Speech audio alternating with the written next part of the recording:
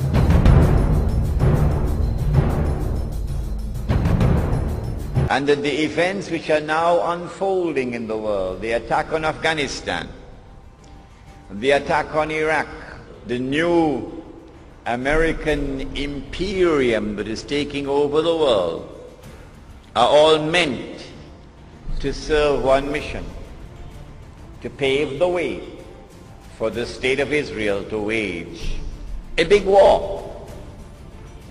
And as a consequence of that big war that Israel is going to wage, the territory of the state of Israel is going to dramatically expand to encompass the biblical frontiers of Israel, of the Holy Land. Bible says, from the river of Egypt to the river Euphrates. That's not true. The Quran proves that that is false. The Holy Land does not exist from the river of Egypt to the river Euphrates.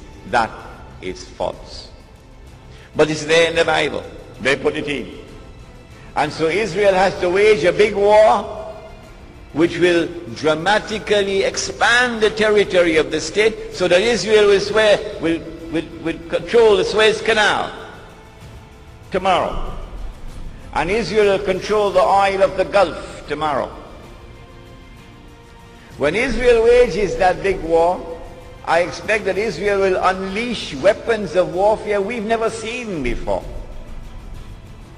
And at the end of it, Israel will take over from the United States as the new ruling state in the world. But Israel cannot wage that war while still there are any significant obstacles in the way. And now put on your thinking caps. Which is the most significant obstacle which still stands in the way of Israel waging a big war? Is it a man named Osama bin Laden? And his men hiding in caves in Afghanistan?